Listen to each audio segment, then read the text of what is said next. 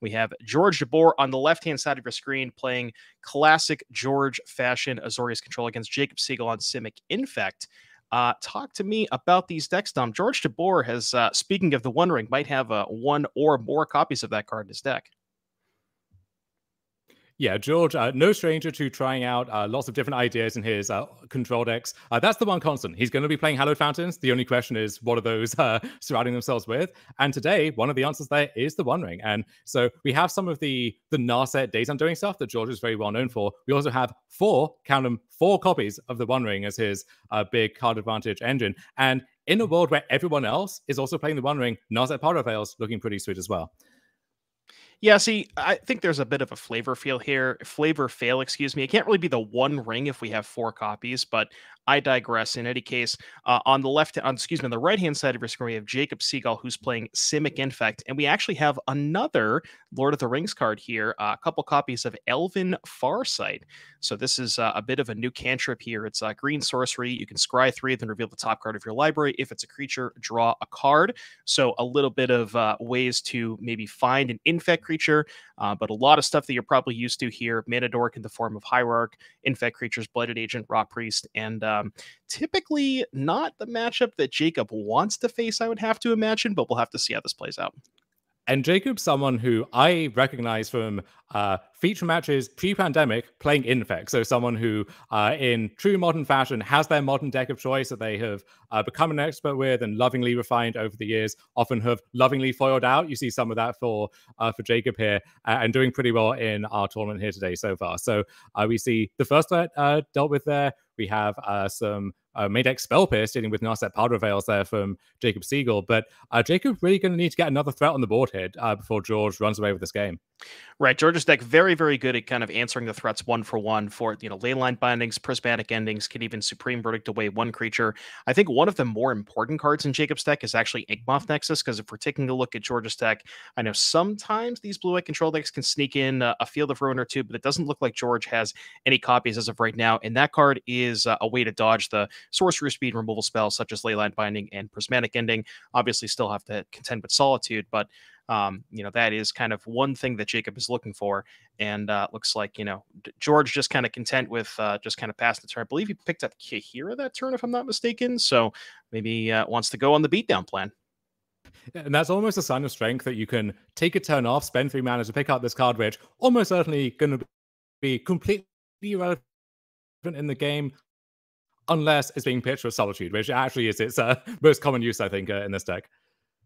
Oh yeah, exactly. Yeah, basically three mana just to get a, a, random piece of cardboard in your hand when you want to, like you said, pitch to Solitude. And uh, you know we'll have to see if George has maybe something like a land and a Teferi Time Raveler with the counterspell backup. Teferi Time Raveler very very potent against the Infect deck because you know if you look at traditional Infect decks, there's a lot of protection spells. You see stuff like if we look at uh, if you look at the deck list here, Vines of Vastwood, Snakeskin Veil, things of that nature, and Teferi just kind of shutting that off entirely. But looks like we're not pitching it to, to Solitude this game. We're just hard casting a three two. Yeah, and uh, six turns later, that Kaheera might have uh, crossed the, the finish line if nothing else has happened by then.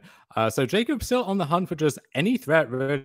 Uh, we see a full hand there, but we have to imagine full of various protection spells, interaction of some kind. So that threat might stick, but we got to find the threat first before we can do anything else.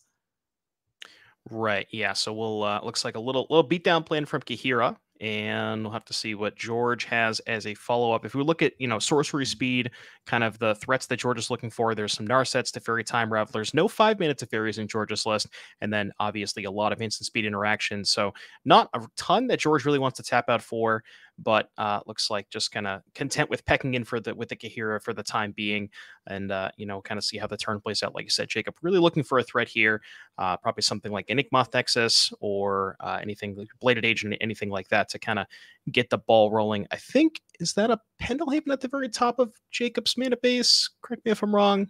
Looks like it.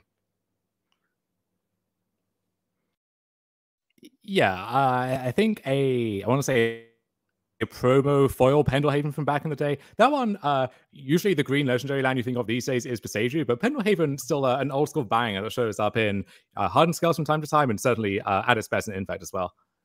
We're gonna have to play the uh, the Triome game. Actually, now that George has all of these fancy lands to play, we could do that if we wanted to.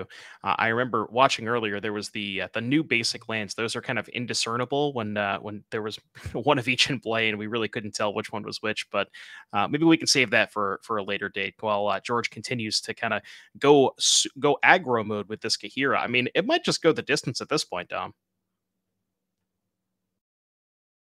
Yeah, we, we do see. I think is that a space infinity Hallow Fountain over there for George Jabbour. Some of those uh, cool full art basics as well. So George is uh, certainly showing off his own personal style with his land choices, and that's uh, there are so many printings of each land in Magic nowadays that you can really customize however you see fit. Oh yeah, you, there's you know the world is your oyster when it comes to mana bases in terms of modern Magic and uh, you know, like like like you said, looks like a lot of full art triomes. Got some of the space shock lands. I think you like you said, I think it's a hallowed fountain and maybe a breeding pool sneaking in there.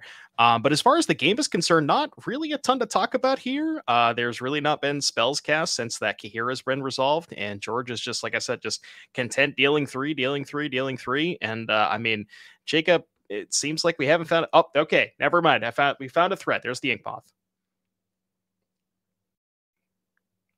Okay, so we, we might actually see a uh, some some fireworks here over the next turn or two. But yeah, generally, if we have an excuse to just be talking about basic land arts uh, endlessly, then uh, we are officially in garbage time at that point. Yeah, exactly.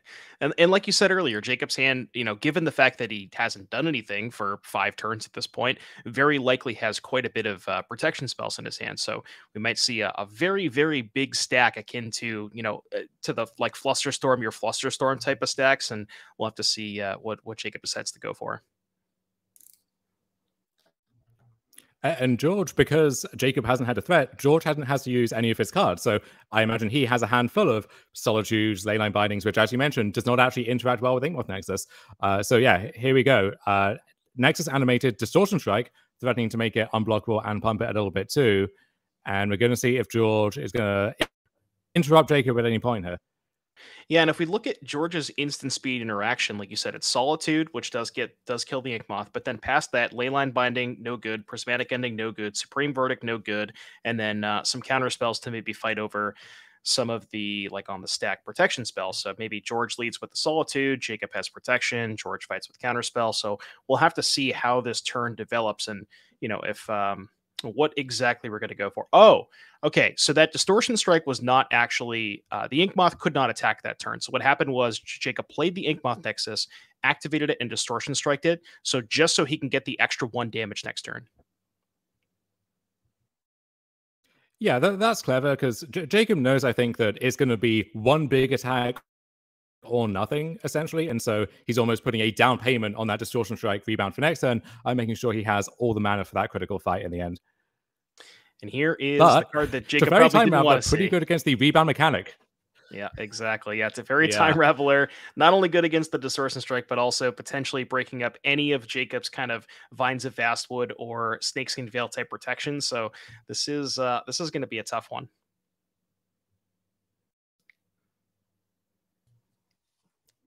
Yeah, and uh, the fight almost has to happen now over the Teferi because the Teferi allows George to, to win the fight almost single handedly. So uh, the fireworks happening on George's turn instead, and we'll see who emerges victorious here in the end. Uh, George's going to fight back here with uh, three mana 4. is that a Archmage's Charm? There we go force negation, and then that was met with a. So what happened was the Teferi was on the stack. Jacob responded with okay. Spell Pierce, and then Inkmoth Nexus was activated, and in response to the Teferi Snakeskin Veil, and that's a heads up play from Jacob because then Teferi can't bounce the Inkmoth Nexus. But it looks like the stack has resolved, and at the end of it all, we have uh, Jacob Segal with a Inkmoth Nexus with one counter and still able to. Uh, Oh no, the Teferi did resolve right because we cast the the Snakeskin Veil, so that Distortion Strike is offline next turn. Yeah, but that said, if Jacob is able to pump the, the creature during his main phase, he might be able to untap, animate the Nexus, just play two pump spells and swing in for lethal. So putting George to the test, making him have something like another Force Negation or Solitude maybe uh, to actually stave off uh, imminent death. All right, and we're going for the animate, and that is a scale up. Scale up actually works pretty well with plus one plus one counters because it's base six power, which will still get the plus one plus one counter from the snake veil. So now we have a seven power ink moth. Looks like we're following that up with potentially another pump spell, and we're gonna say, George, do you have the solitude? And George does not have the solitude. That's going to be game one going to Jacob. That is very surprising. I, I got to tell you, Dom, I didn't think that was going to happen. I, I didn't either, but that that's why this infect deck can be so scary sometimes. Is uh, you think you have complete control of the game, they stick one threat for one turn, and then suddenly you're dead just like that. And uh, even if you have the interaction, you need to be able to line it up properly, time it right. Uh, so often you you, you get greedy, uh, you try and bait out the pump spell, but then they have the the vines of fast or something in response, and your whole house of cards collapses. So in fact, a terrifying deck to play against, even if you think it's a good matchup. If it's a bad matchup, there's really nothing scarier in the format. If you're any kind of linear combo deck, I know Tron has been doing pretty well online recently. In fact, going back 10 years or more, maybe Tron's best matchup in the format. So, uh, in fact, uh, we know it's uh, Jacob's uh, pet deck, if you like, his favorite deck. Uh, going to take a lot for him to put it down, but I think it is also a respectable choice if you're uh, that way inclined. Absolutely. You know, maybe uh but Infect potentially does not want to see any copies of the One Ring. Uh maybe that that might make the uh, the Tron matchup a little bit better, but uh I don't know if we have the sideboards ready. If we could take a look at George's deck list, that is perfect. So we'll have to see if uh, George can get a little bit of help here. So uh the four copies of the One Ring that Dom had previously mentioned, that is pretty good in this matchup if you can get to four mana, although kind of sketchy against Spell Pierce. But as far as the sideboard is concerned for George here, uh could look to something like Blood Moon to shut off Inkmoth, maybe Pendelhaven. Uh, potentially wants to go towards Chalice the Void. That seems like a slam dunk. Uh, could look at Wear Tear to maybe again kill Inkmoth Nexus and then Dovin's Veto to fight over the pump spells. What do you like here from George's side? I think Chalice of the Void is, is an interesting option here because the Infect deck relies on having this low curve with a lot of these one mana uh, pump spells, creatures, and interaction. Uh, and so if you can shut off 20, 30 cards in one fell swoop, that's a, a pretty good deal to me. Then, as you mentioned, Blood Moon, uh, the Infect mana base is pretty shaky and it does rely uh, on Inkmoth Nexus for a lot of these more resilient kills. Uh, Blood Moon, though, it is a three mana card in the face of stuff like Spell Pierce, so you might not always find a good window to land it, but potentially a very powerful option there as well. And then there's Dress Down, which uh, we, we might end up with some interesting rules questions around uh, dress oh, down oh, no. timings and infect and reanimating Inkmoth Nexus and so on. So uh, see yourself potentially. I'm not I'm not prepared for those down. Let's leave the dress downs in the sideboard and maybe we could take a look at the infect sideboard here for Jacob Segal. And uh, we're looking at some spell pierces, probably good at fighting over stuff like Teferi Time Raveler. Veil of Summer could help against the counter spells. And uh Shaper Sanctuary, maybe that's something we want to go towards. Yeah, spell pierces look phenomenal. I want all four of those in my deck. Could make a case for Veil of Summer as well. Just a lot of blue interaction in George's deck, including uh, the Force Negations. And then Shapers' Sanctuary. There's there's a lot of debate around this card over when exactly is it good, how much removal uh, do you need to be fighting through for this to be worth it? I think it's good against a lot of these Lightning Bolt, Unholy Heat style decks. Uh, against George's deck, I think I would probably leave it on the bench. Yeah, the awkward part about like I guess going back to Veil of Summer specifically is there's a lot of white interactions. So you have uh, Prismatic Ending, Solitude, stuff like that that Veil of Summer doesn't fight over alongside the Supreme Verdicts. But yeah, the Shaper Sanctuary. Um, I guess the only thing that Shaper Sanctuary doesn't really hit is Supreme Verdicts, but good against the again the Solitudes, the Prismatic Endings of the world. So maybe maybe wants to look towards those Shapers. And if Jacob is you know maybe aware of George's uh, typical use of Chalice the Void. Maybe wants to go towards those forces. I don't know if he knows that George has Chalice or not, uh, but if that's something he suspects, it, it, probably is an avenue that he wants to uh, to to pursue. I guess I should say. Um, but it looks like players are drawing and shuffling up, and we are almost underway for game two. Now, um, we uh, I, I, kind of assumed that George was going to be a slight favorite in the matchup. How do you think this goes in the post board games? Do you think George improves more? do you think Jacob improves more? I, think George does improve a little bit. Uh, you get some of the more clunky cards out, out of the deck. I think something like Narset Powder Veils potentially, and you get a lot of these these bangers from the sideboard, the Chalices, the Moons, uh, and so on. So I think George improves a little bit more. And we said we think the matchup uh, probably is, is fine for George to begin with, but uh, Jacob proved that you you really can't take anything for granted uh, with that game on. Did you just suggest cutting Narset Powder Veils? I wouldn't recommend uh, mentioning that around George. I'm just gonna just gonna throw that out there.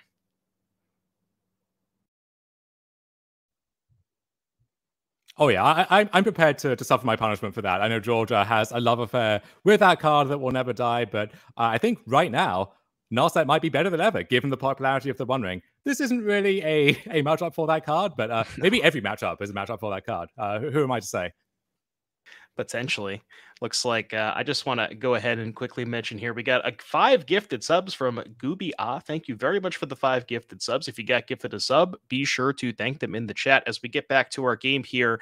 Venerated Rot Priest kind of pecking in for a point of damage, and we'll have to see what Jacob's follow up here is. Maybe something like a Blighted Agent, potentially a Spellskite.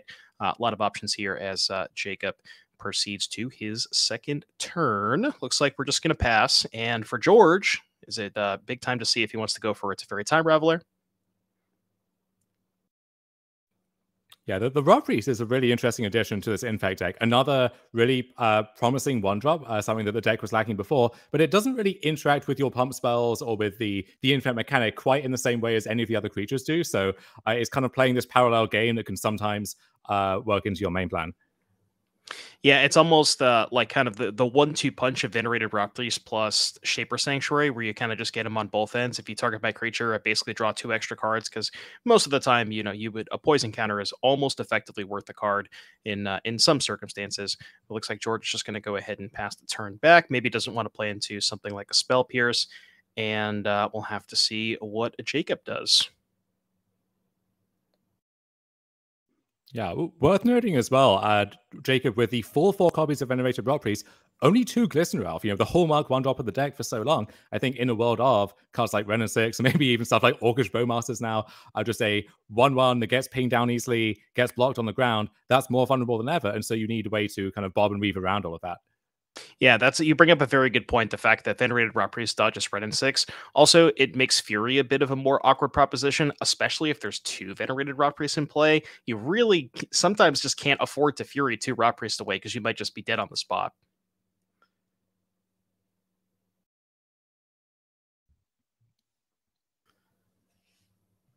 Looks like we're going to go for a noble hierarch here for. Oh, sorry, never mind. It's actually target of a spell. I I I mis I misremembered the card. It's the only target of a spell, not spell or ability. So Fury a okay against Venerated Rot Priest. But as we move on here, noble hierarch on the stack for Jacob, and we are going to get in there for two. George going to take two. Yeah, we're, we're, very accustomed to these these ward effects or other things that, that tax you for spells or abilities. Rot Priest actually worded subtly differently, so only punishes spells. Uh, but you know, definitely something to, to be aware of in this matchup with you know, card like Leyline Binding, right, which is a spell, but it produces an ability, and that's the removal part. So, uh, gotta check where that that uh, that trigger is coming from. Exactly. So George gonna go ahead and deploy his fourth land here. Maybe this is probably a pretty good spot for something like a Supreme Verdict, if that is something that George has access to, especially with no Inkmoth in the battlefield, so no real access to uh, to a threat next turn for Jacob. Um, wonder if George is maybe worried about potentially an indestructible spell. I don't know if you know the typical infect play- list usually play cards that give indestructible. Maybe that's something that's uh, that's crossing his mind at least. Yeah, there, there really isn't anything like that, and that's why Supreme Verdict is is so powerful here, where you can have all of the spell pierces, vines of Vastwoods, uh, or what have you as you like. None of those is actually going to fizzle a Supreme Verdict, so that's a nice guaranteed way to clean up the problem, unless that problem is Inkmoth Nexus, which, which is kind of what we were talking about in Game One. Like this is your most resilient threat in a lot of games. Yeah, and that's that's exactly what happened game one, like with you know Jacob just basically killing George out of nowhere with the ink moth. And like we talked about, George just doesn't really have a ton of answers. Uh, at least game one, just the you know the the leyline bindings are off, the prismatic endings are off, unless um, you know something like a solitude comes up. There's not a ton that George can really do about the ink moth, and uh, kind of just uh, playing a little bit of draw-go here. George not willing to commit into a spell pierce, and Jacob, you know, doesn't really need to commit more to the board. We're just kind of chucking in for two a turn. So uh, we'll have to see. Looks like we're going to get some action here. Oh, never mind. Kaheera pickup. Well, I guess you can call that action. yeah, as we said before, it's either a sign of strength or a sign of weakness. We're about to see which one that is. But one thing that might be in play here is uh, the One Ring, phenomenally powerful card, of course, uh, but it being a sorcery uh, is potentially a liability in the face of Spell Pierce, and also it means you don't get to play this fully reactive game where normally your your blue white control deck, you're passing the turn. If they don't do anything threatening, you cast your memory deluge or something, or archmage's charm in the turn, refuel that way. George has to commit on his own turn, and that could be the last turn he gets if that doesn't go well. Exactly. So we're going to go uh, end step. We're going to sacrifice the Waterlogged Grove here for Jacob, get a pick up an extra card. Jacob notably getting in uh, a little bit of regular damage and poison damage right at the same time, just killing George on every facet. Um, and we'll have to see if uh, if there's any fireworks this turn. I mean, it's it's tough to go for fireworks with Rot Priest. That is kind of maybe the downside is that no matter how much you pump it, you're only getting in that one toxic regardless. But I mean, George down to 11 here, there's a realistic chance that two pump spells on, that Rot Priest might just be lethal regular damage. Right, and that's always one of these uh, sub goals you look for with the infect deck is, well, hey, you dealt with my infect creature. I still have a noble hierarch here that can get to work, and it's easy against infect to get tunnel visioned on. Well, they're not attacking my life total, so I can uh, take two from the shock land. I, I can take uh, this point here and those two points here. But if you leave yourself exposed to a hierarch and two pump spells, you might lose a game that you could have been in otherwise. Yeah, and George actually going to fire off the pitch cast solitude end of turn. Kind of a weird timing for that, but um, the one thing that kind of tells me is that George almost, and th- this is pretty obvious, or maybe apparent to Jacob at this point, that George very likely has counterspell because if Jacob tried to fight over the solitude, George did have access to two mana to fight back with the counterspell, and uh, didn't want to have to commit to mana on the following turn. You know, after after George untapped, so once untapped with all of his mana. Yeah, the, solitude is free, but if your ways to defend the solitude or your follow up plays, those cost mana, and you might want to be able to break up that mana payment over the course of a few turns. Exactly. So uh, there's the the hero, the Kaheera, excuse me, that we knew about did get exiled to the Solitude. So uh, unknown about the contents of George hand, George's hand, with the exception of likely the counter spell. And uh, George just gonna throw it back to Jacob here, and I guess it's time to go beat down with the Noble Hierarch.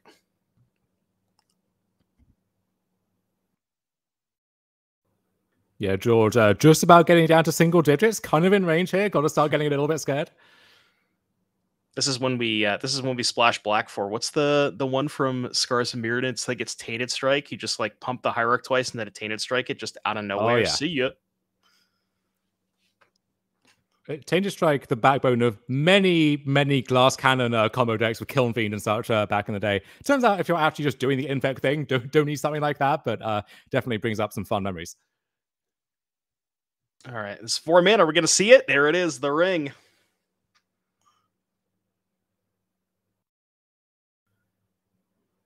And if this resolves for George, this is pretty good. Mana open for know, Spell Pierce. Can't die. Yeah, exactly. Mana open for Spell Pierce. Can also, if if maybe if Jacob has a hard counter, can fight back with the counter spell. So it is going to resolve. I, I love that token that George has had, that George has. Yeah, I, I, think if I can be one of those custom tokens or whatever, I want to be a, a one ring emblem because I because I'm gonna appear on a lot of battlefields that way uh, before all is said and done. Yeah, exactly. Uh, mm, no, no, we're gonna we're gonna find out today. Uh oh, that's uh that's uh, that's something you only do once. All right, it's fine. Oh,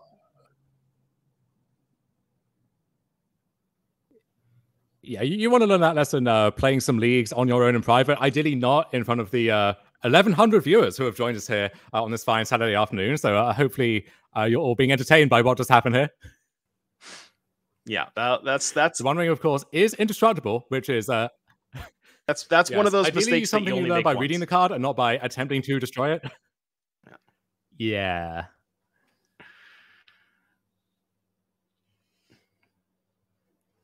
All right, George going to follow you know, J- Jacob, no stranger to competitive play, no stranger to success with his infect deck, but might not be as caught up with some of these new cards. And if you're seeing them for the first time, easy to overlook. Uh, you know, one of the many, many lines of text on that thing. Exactly. And we see a follow up here from George, a Teferi Time Raveler. Now, this one goes kind of crazy with the One Ring because you can basically just loop it where you go Teferi, bounce the ring to give yourself protection again. Um, so Jacob really does not want to let this Teferi resolve. To fight with Spell Pierce, which George can pay for. But if George pays for it, then he wouldn't have made it to recast the ring. So kind of a sort of a, a little bit of a reprieve here for Jacob.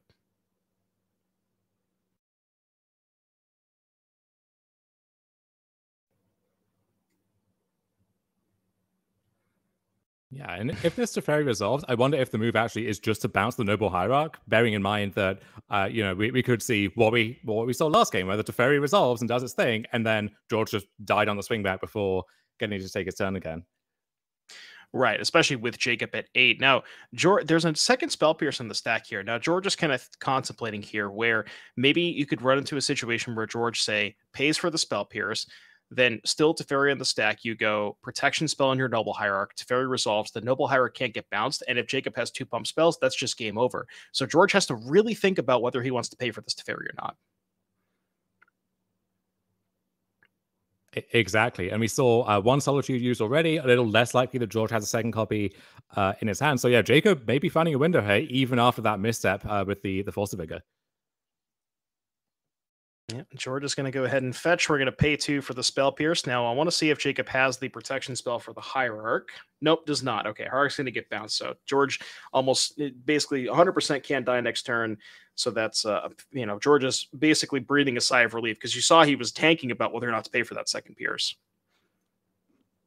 Yeah, I think at this point, the most likely way for George to die is to his own copy of the One Ring. So that's uh, we're going to see that sub game uh, play out uh, yet again here. And we see a, a follow up here from Jacob with uh, Noble and a Blighted Agent. George is going to go down to four, I believe. So four? I think it's four. You're going to go ahead and draw a couple more cards. And we will have to see what George's follow up here is. Obviously, definitely looking for something like a Supreme Verdict. Although, with the Teferian play, you don't even have to cast the Verdict on your own turn. Um, actually, does kind of have to find an answer for the ring now, right? Yes, yeah, it went from seven down to five, and then so we, we got another turn, but then that's that's it. So uh, gonna need something in the near future. Could be another fairy, could be another copy of the One Ring, which is maybe the big flavor fail where the easiest way to avoid dying to the One Ring is to play the second, the two ring. I, I don't know. The second, yeah, the the two ring. All right, there's another ring. So George is going to be a little bit safe from from dying at least for a couple of turns. Now, you know, you know this one's going to tick up a couple couple times. Uh, so we'll have to see. Uh, you know, George maybe doesn't maybe doesn't want to use it a couple of times. Maybe just going to find another Teferi to keep picking it up. But we will have to see. Does have protection, and uh, I would say this game is pretty close to locked up. But uh, you know, we'll have to see what Jacob what Jacob draws notably, the One Ring gives you protection from everything. Does doesn't affect uh, your permanents on the board. So even though Jacob can't attack George's turn, can attack the Teferi down, finish that one off, uh, and try and even things out that way. It's a good point. You do bring up a good point there. So Teferi could bite the dust, uh, which George probably doesn't care too much about because he likely wants to find a second Teferi to rebounce the ring anyways. So George probably pretty content with that first Teferi dying, even if that were to happen. Um, but yeah, Jacob doesn't like looking at the deck list. Like we said, there's the Force of Vigors, which don't really help here. There's just not really any sort. There's just no Otawaras or anything for Jacob to be able to bounce it. Not that you could remove protection anyways, but uh, we're gonna go ahead and Force of Vigor the Chalice, which unlocks our one drops. Maybe that could uh, find us something.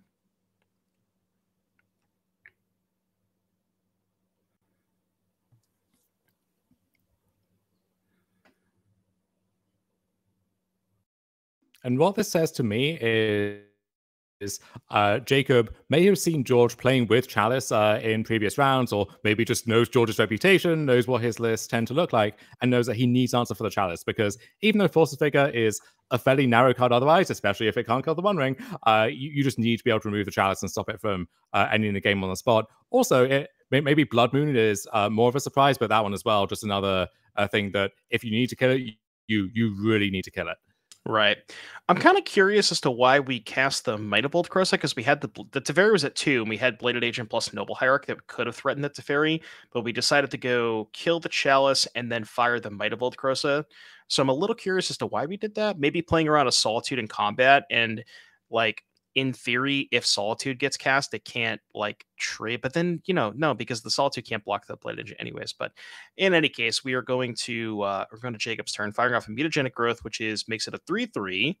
And there is the Solitude.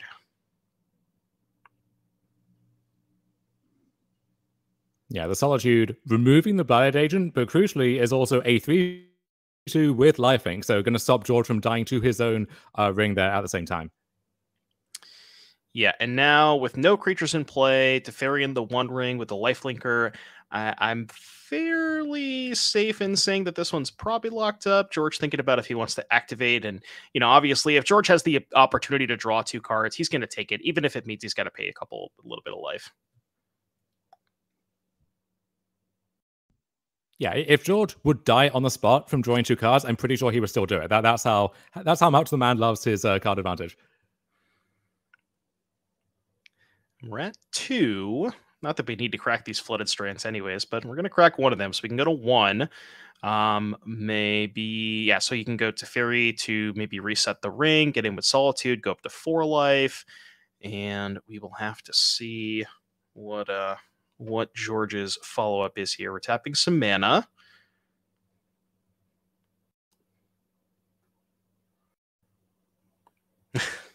All right.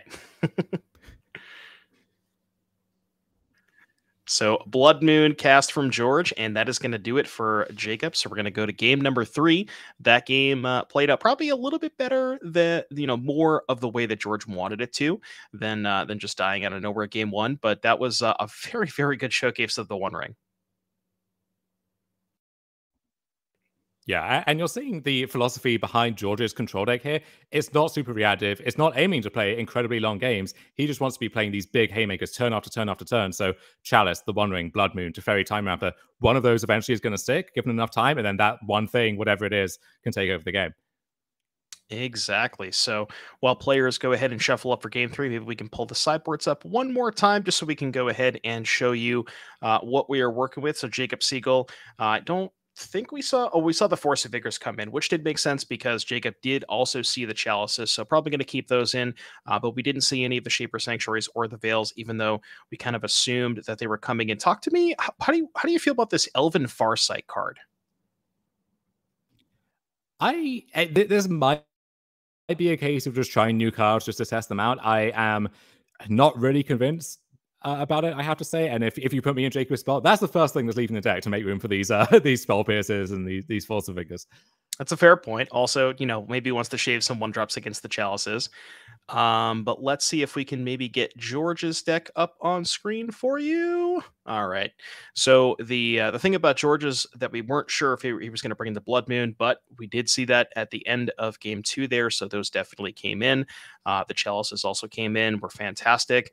Um, don't really think players are going to change too much. But uh, do you think that the so we we kind of assumed we kind of said that George was a little bit favored in the matchup. Do you think that play draw matters a ton in this matchup, or do you still like George in the uh, in game three? I think it does matter a lot, especially cards like Chalice of the Void, uh, where either that's locking out uh, a bunch of one drops or they get to deploy their one drops before the chalice comes down. Uh, same thing with Blood Moon, right? So often, uh, if you're on the play against Blood Moon, you maybe have a chance to to fetch that basic that you need or to uh, maneuver around the Blood Moon in other ways. If you're on the draw, sometimes you, you tap out for your Blighted Agent and you get Blood Moon and you don't cast another spell. So uh, de- definitely very swingy uh, play versus draw versus these effects. Would also say even cards like the One Ring, right? Teferi Time Raveler. Uh, George's deck is set up in such a way that being on the play gives him a big edge. Even now on the draw again for game three, I would say that I, I like George's side of it, but uh, we'll see if Jacob can uh, steal game three like he saw game one. Yeah, I'm with you. Big, big fan of George. Even uh, even with Jacob on the play, it just seems like he has all the tools and even enough early, you know, early plays with like prismatic ending, solitude. Uh, even get, can fetch the leyline bind or can fetch to leyline binding early. So has enough early tools, and then those just like you said, those haymakers that just basically kind of just feels like they end the game on the spot, even like a chalice on turn two. If Jacob doesn't have an answer for it, some percentage of the time, his hand's just not going to be able to beat it.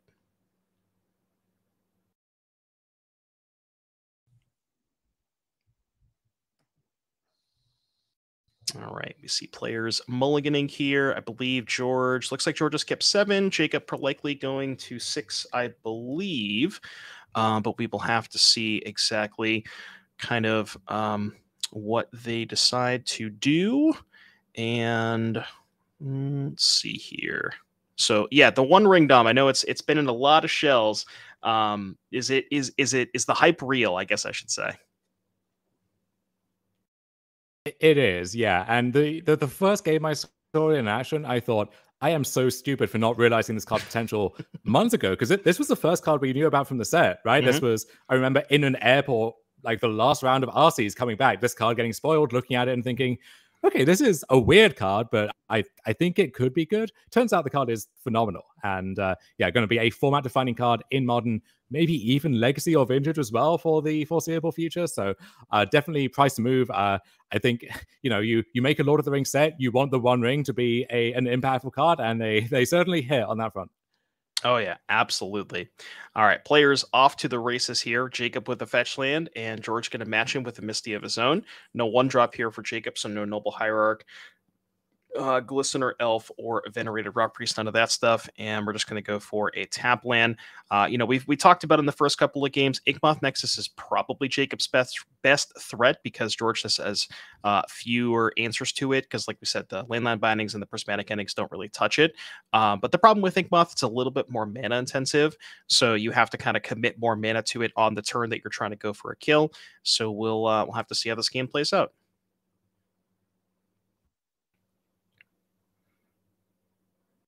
As we do see a Blighted Agent here from Jacob and a fetch from George. And, you know, we'll uh, have to see if George maybe has a prismatic ending for that and maybe just wants to hold up counterspell in case Jacob goes for a couple of pump spells on his turn. Yeah, Jacob uh, playing the Waterlogged Grove as a second land, so taking a pain off that. Maybe suggesting uh, doesn't have a land heavy hand, or maybe has a Boseiju that he'd rather hold in case of a Chalice or, or Blood Moon, something like that. Uh, Leyline Binding even as well.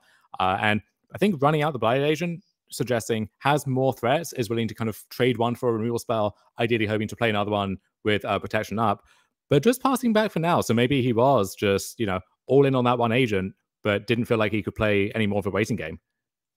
Yeah, it's one of those spots where because you know you know George has four counter spells in his deck. If you hold up on turn two, like if Jake if Jacob's interaction is finds a Vastwood and Snakeskin Veil and George has counter spell, then you're not really getting anywhere by by holding up. Um, so you kind of maybe you know obviously under a perfect scenario for Jacob, he would have spell pierce there because then you could no matter what you could just wait until turn three and go Blighted Agent pierce whatever George has. But yeah, it's uh, kind of a kind of a tough spot when you when maybe if Jake so that that kind of tells me that Jacob's hand is essentially just a lot of like uh, you know battlefield protection stuff and maybe no spell pierces.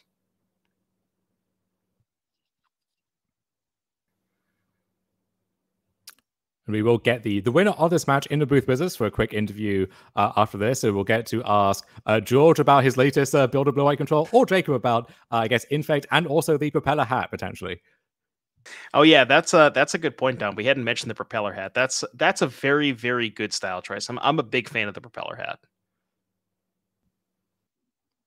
I love it. I would like it more if the propeller was kind of moving of its own accord, but uh, I guess we haven't invented any kind of perpetual motion machine yet, so that one uh, may have to wait.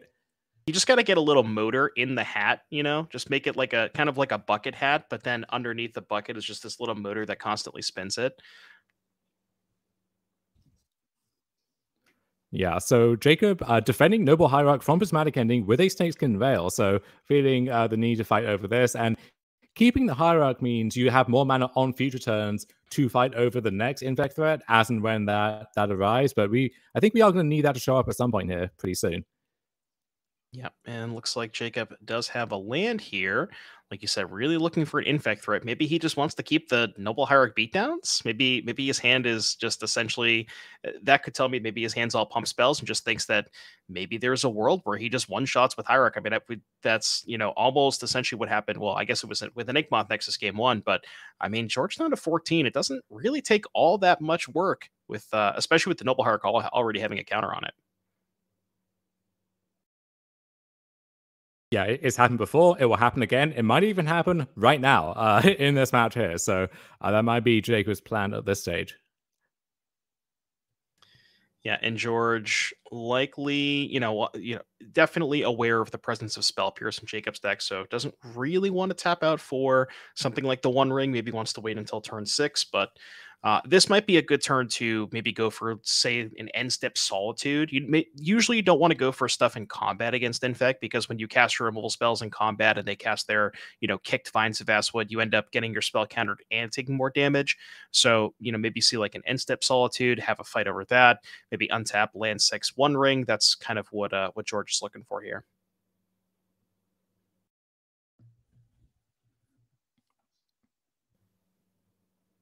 We can't get a great look at what George has in his hand. Uh, kind of shuffling away from our cameras here, but so we're, we'll have to figure that out for ourselves. And really, could be a lot of different things at this stage. Could be removal, could be reactive cards, could be some maybe more expensive things like the One Ring that maybe we're waiting for that sixth land to play around Spell Pierce. So a lot of things that it could be, uh, as far as I can tell. Yeah, nobody nobody ever knows what's in, what's in George's hand. Nobody ever knows what's in George's hand, even George himself.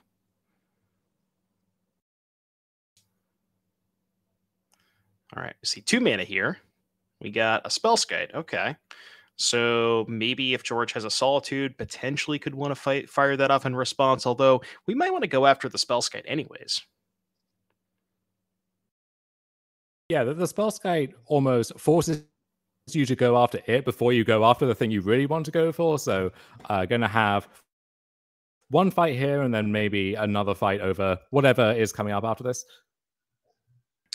Yep. So we see George fetching end of turn. See if we okay. So no solitude. We're gonna get a tap shock land. Um, but like you said, potentially has the copy of the One Ring. Wanted to wait until we get the six mana to play on Spell Pierce, and notably, there's only one blue mana. So even if you know, say what we saw last game was double Spell Pierce, that's off the table this turn because there's only one access to one blue mana, and there's land six. And okay, we're gonna go for a verdict here with two mana. Likely wants to hold up counterspell. Yeah, and Spellskite can redirect a lot of things, cannot redirect a Supreme Verdict. We'll get swept up by that along with everything else. And here is a Blighted Agent as a follow up threat. George immediately ready with the counterspell. And there's the ring. That's the spot that George is looking for. Just kind of wanted to wait till Jacob was tapped out. And the ring at 11 life. So we're going to get quite a few cards off of this before we have to worry about answering it. Now, I will say that Inkmoth Nexus is a pretty good follow up for Jacob. We've talked about the entire match that that is Jacob's best threat, given that George has uh, much fewer answers to that than all of the other creatures that are on the battlefield. So we'll uh, we'll have to see if maybe George can find a Solitude or something along those lines. Yeah, but back in the day, uh, when Infect had less options, you would even see a lot of these lists play Sylvan Scrying or Crop Rotation in Legacy just to find Inkmoth Nexus, because often that was the only threat that really mattered uh, given the board state. Uh, not sure if it's going to matter on this one, though. It does feel like George has a lot of options uh, rolled up here. Yeah, I think I got I caught a quick glimpse of Jacob's hand. I saw a Boseiju, so maybe prepared for something along the lines of a Chalice of the Void. But as we uh, as we saw last game, but the, the One Ring is indestructible, so we don't we uh, they think Jacob's probably not going to kind of fire that one off. Um, maybe I see a Rot Priest. I can't get a good look, but with its Teferi in play, it's going to be really hard for us to go for this Nexus, given that we can't really fight over it. We can't, you know, we can, I guess, go for a main phase Snakeskin Veil, but if there's a Solitude in response, then, you know, we uh, we kind of just lost. And, and notably, George did not pick up the Kaheera that turn, so representing maybe uh, a counterspell of sorts or something along those lines.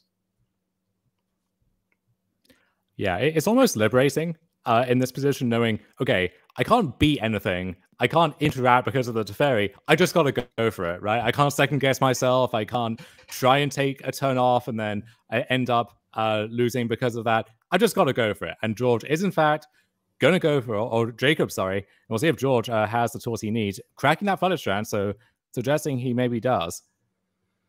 Going to get a basic here. So we don't have mana to hard cast Solitude. We can pitch cast. This is four mana. Oh, because we plus the Teferi. This is okay. Yeah, I forgot that we plus Teferi.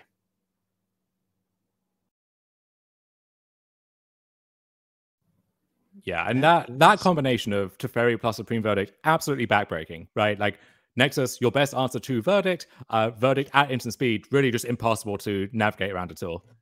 Right. Yeah. There's just really nothing that Jacob could have done at that point. And uh, as we see, a Chalice the Void hit the battlefield on one. You know, George is you know going down a little bit with the ring, but has that Teferi. We're going to go ahead and even reset it to just make sure that there's no way we can die to our own ring. And uh, yeah, this one is almost. I, I I'm willing to call this one over, Dom. Yeah, the, the One Ring just gets out of control so so quickly. Uh, you know, you you play it and then three or four turns down the line, you've drawn ten more cards. Like that's just impossible to come back from. And so you, you line that up even against these iconic card advantage engines from the past, like Jace the Mind Sculptor, right? Which that was unbanned in modern. People were worried, and then it was pretty tame in the end. Uh, the One Ring almost makes Jace look embarrassing, as weird as that feels to say. And chat's actually uh, mentioning that George, I believe, has a copy of Minamo in play. I want to look at George's deck list, and I want to see there is a copy of Minamo in George's deck list. Now, I didn't know if one of those was the uh, was the alternate arts, but oh boy, that card goes really big with the One Ring. Oh, it sure does. Yeah. All right. So we are going to get and... uh, George Jabbour in the booth to talk about uh, that match and his build of the deck up to five and one now. Uh, still a long way to go. We have uh, 300 players in our tournament, nine rounds, so uh, not a lock for top eight or anything by any means, but uh, starting to to for that to come into view maybe. Absolutely. Just an, a dominant showing from George there. The One Ring looked uh, absolutely amazing every time that it was cast, and uh, a really, really good tool for these control decks. Uh, we didn't, obviously, we didn't see the Narset Day's Undoing stuff come up because, like you said, likely boarded out in the matchup. But George is a master of control, and uh, not surprised to see him doing well. Absolutely. And I know there is a big crowd out there who loves their control decks, will sleeve up their hallowed fountains and so on at every opportunity. George may be demonstrating one of the better ways to do that these days. Yeah, I was, you know, like eh, the, the, when we were talking about this earlier, the One Ring is, is kind of a card that I was like a little bit skeptical on during preview season. But the more I see it cast, the more I realized, oh boy, I was definitely wrong about that one. Oh, yeah. See, this is why my maxim now is just play with the cards. It doesn't matter if they look bad, if they look a little strange, just play with the cards and figure it out. Because, like I said, I spent three months knowing that this card existed, thinking, well, it's weird, and like I'll I'll build some decks around it. It's cool. I don't know if it's good. Then I saw one game and I was like, oh, this thing is amazing. what the hell? Yeah, um, I just want to play it in everything, and uh, one everything. Yeah, one everything you can play it in is Blue Eye Control. So I'm gonna see if we can get George uh, in that seat there. Uh, currently just staring at an empty chair, but George himself is a lot more, a uh, lot more insightful and, and uh, engaging than that. Absolutely curious to see what uh, what George's take on. Well, obviously he likes it because he's playing four copies, but you know, curious to hear his thoughts if uh, if if he thinks it's as good as we both do. Um, you know, like we said, it's just been it's been so impressive, and it looks like we are waiting on George a little bit. Um, but yeah, that was uh, a very interesting match. At least you know, game one was really cool. We got to see kind of the infect deck do its thing, but uh, in the post board games, George was uh, able to draw the sideboard cards and take the match. And so we are just a little bit away from getting George on to the interview here. All right, perfect. George Jabbour, welcome to the interview. How are you feeling today? Hi, I'm feeling great. It's great to be here with you too. How are you all? Doing good. Doing good. Well, congratulations on your victory. Uh, it was uh, a very well fought match. Uh, first of all, I just wanted to say I love that token that you have, an absolutely amazing token. But um, talk to us about Blue Eye Control, specifically the One Ring. What made you play four copies of that card today? I mean, I want to play Jace, and Jace is a bad card now. I saw this card, and this this just draws me all the cards that Jace wants, except it can't be bolted, it can't be heated, it can't be disputed. It can't be attacked. This is everything I wanted Jace to be. So I just, I, I put four in the deck. I play tested with some friends this week, and it was really, really impressive. So I've got four today. It also, it sounds like it's great news for your girl Narset Parter of Veils, right? Where Narset really nicely curves into your own one rings, finds that card. But also, uh, if everyone else is doing the same thing, and it feels like a lot of people have got that memo, uh, you can still draw like one card a turn on your turn, but that's uh, that's much different from what you could be doing if that. Yeah, I think um, it's reminiscent of last year when four color Omnath was at the top and everyone was playing those turn four Omnaths or you know turn 17 Yori and you know flicker all my own button gross draw card. Narset was really strong there, and that's why I originally created the deck. And if people, if other people are playing their One Rings too, I'm really happy to be playing four Narsets as well. Although I always am. very very true. Only only one day's undoing today though. You kind of, of took, you kind of brought that back a little bit. Um but that uh that game one george talk to me about that game one where we you know we in the booth kind of thought that you had that locked up and all of a sudden two turns later you were just dead. So uh what, what was going through your head that game? I did not have it locked up. I was drawing lands just for running running running turns. I my opponent was just drawing spe- like not creatures for running running running turns. We talked about it afterwards it felt weird from both ends. Um, but at least he found his Inkmoth Nexus. He was able to, you know, just just get get the victory. And I felt pretty confident going to games two and three. Like that was an anomaly. I'm not going to draw, you know, 100 lands in a row again. I've got four uh, one rings, which has got to be insane against that deck. Uh, just time walking, drawing three cards. Um, so I wasn't too scared for post board games. Talk, talk to us about this deck in the context of modern as a whole at this point, because we do see a lot of these new cards are shaking up the format a bit. Uh, Delighted Halfling is one that is showing up in a bunch of these four color shells. And then maybe the next most impactful cards are actually the land cyclers, you know, living end, getting a nice shot in the arm there. We saw that you you've beat living end twice a day already. I think traditionally that's been a pretty good matchup for for blue white control, and it feels like your list is is pretty well targeted at them uh, as well. Yeah, no, I think uh, it fits in the metagame really well. Shout out to my friend Garrick Alford, who told me to put that singleton rest in peace in my sideboard uh, just yesterday, I think, or this morning. So it's it's been it's been carrying me in those last two living end matches. Um, but yeah, I think um, cards like Delighted Halfling, if they're going to start seeing a lot of play, and that's what I lost to round the previous round against Chris Smith. Great player, great deck, and Delighted Halfling into Turok is a great sequence. So uh, oh I really wanted to play Reprieve this weekend, but I couldn't pull the trigger.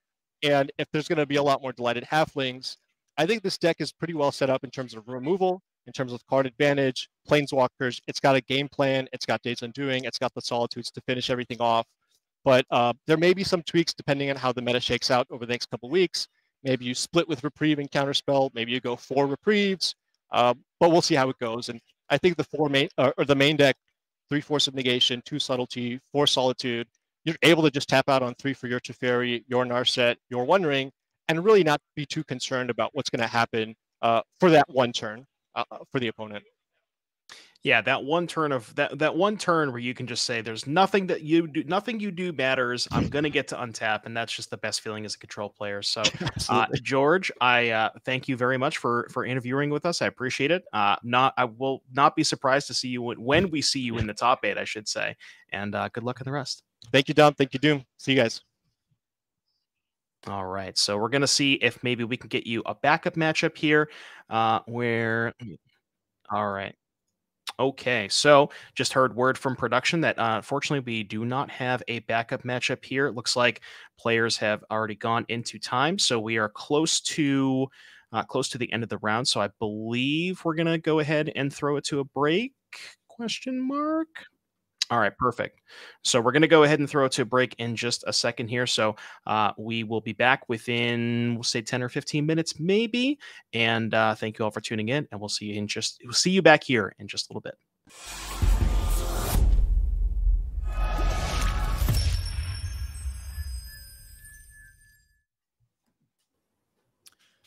All right, hello everyone. Welcome to episode for round seven of nine here at our NRG Chicagoland Showdown. Uh, I'm Dom Harvey. I'm here with Devon O'Donnell